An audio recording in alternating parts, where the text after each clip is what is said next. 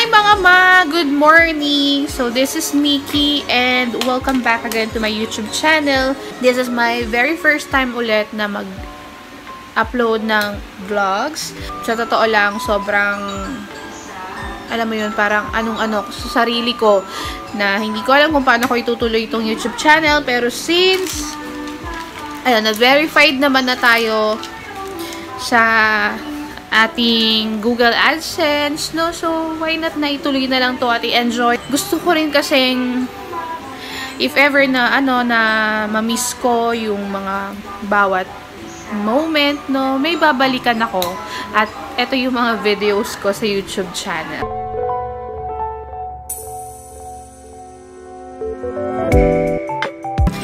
And also, if you are new here to my channel, don't forget to subscribe. Click the notification bell button para lagi kayong updated sa aking next video.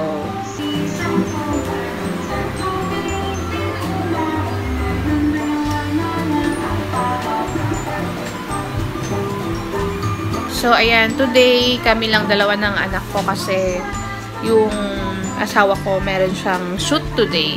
Ayan, at you can see, uh, putok ang labi ng nanay nyo. hmm, pinaputok ni Raiden. Kasi para, lagi kasi siyang ano eh, pag nakikita niya na yung, yung pag, pagdedede na siya sa akin, sobrang, hindi, hindi ko alam kung ano yung magic ng dede ko sa kanya. Kasi pag nakikita niya talagang nawawala siya sa wisho. As in, tumatakbo siya, sumusugod siya. Parang tontuwa siya, excited, no? So, nakakatuwa, pero ayan, ayan yung kapalit. Okay, so napa-video ko kasi gusto kong i-share sa inyo itong nabili naming uh, mosquito electric killer. Alam ba? Electric mosquito killer. Um, ang pangalan ng product is yung Daimaru. So, ito.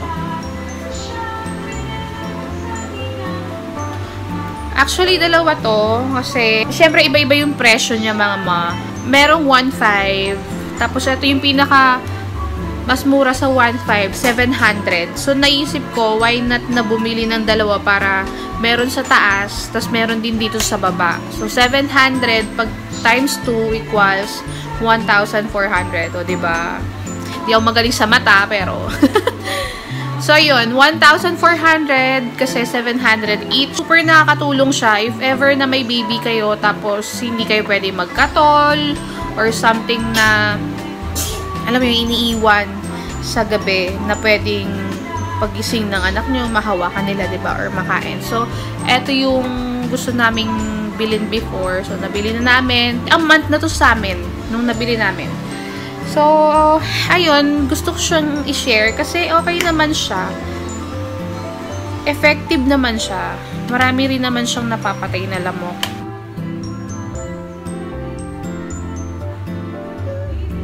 So, ayan. Daimari yung tatak niya. Tapos, ito yung on and off.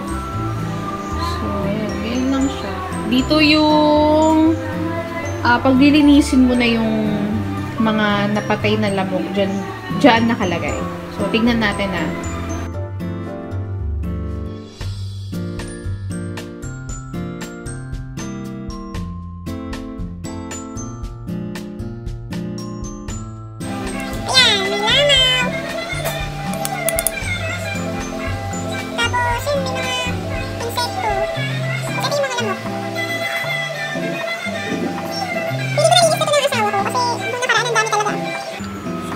Lang siya.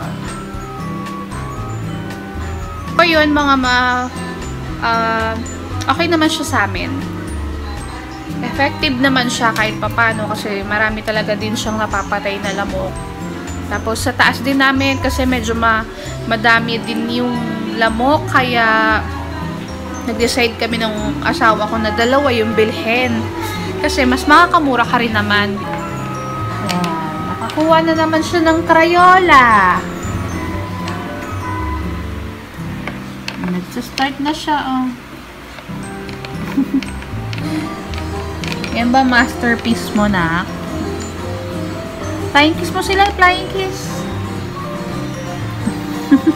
Ma! Ma! ganda mata mo sila, ganda mata. Ay.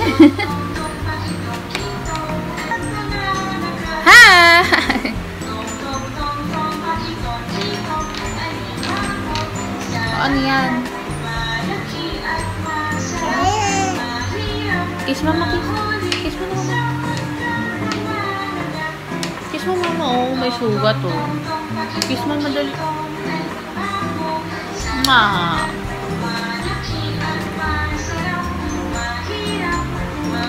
So, hinayaan ko lang siyang magganyan kasi na-explore pa rin naman niya yung mga bagay-bagay, no?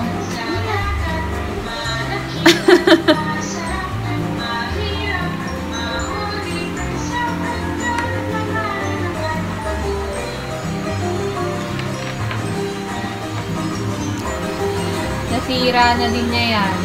Uh, yung handle.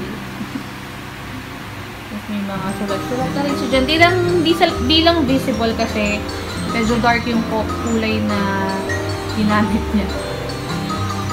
Ayan. Tagalog. Tagalog yung pinapa pinapapanood ko sa kanya.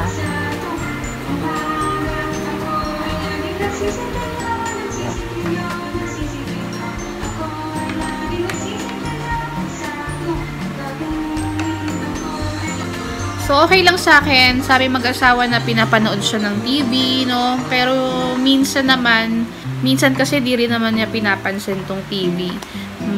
Mas naglalaro siya ng mga laruan. Tapos, speaking of laruan, hindi yung laruan na laruan talaga. Mas gusto niyang laruan, like yung mga sandok, yung mga tupperware. So, yun yung mas gusto niya mga laruan, mga moms. And then, di rin siya masyadong na-focus sa cellphone kasi ayaw talaga namin na bigyan-bigyan siya ng cellphone. Well, yun naman yung para sa amin mag-asawa na hindi muna siya i talagang i-prone sa mga paglalaro or panonood sa cellphone. So, mas okay sa akin yung nood lang siya ng TV. So, eto rin mga moms, no, bumili rin ako niyan sa Shopee uh, ah, 12 pieces na siya for only parang 98 pieces, ay, 98 pesos. 12 pieces na siya. Sa edad kasi ni Raiden, super explorer talaga siya. As in, lahat talaga ng bagay dito sa bahay. Like, yung mga extension talaga yung mga favorite niya.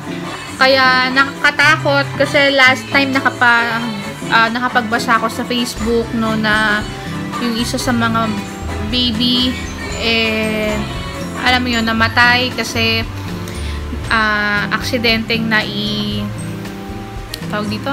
Na isaksak yung kutsara sa extension no? So yun, yun yung mga bagay na iniiwasan kong mangyari. Kaya talaga dapat sobrang uh, ingat, saka talagang susubaybayan mo siya sa lahat ng gagawin niya, lahat ng kukunin niya, no? Kahit isipin niya nakakabwisit ka na, pero kasi nakakatakot, nakakatakot talaga. So, kaya bumili ako nun. Meron niyang dalawahan na sockets, meron ding tatluhan para dun sa mga ano yun, kate? Babay ka na, flying kiss mo sila. Flying kiss mo sila. Bye-bye. Bye-bye po.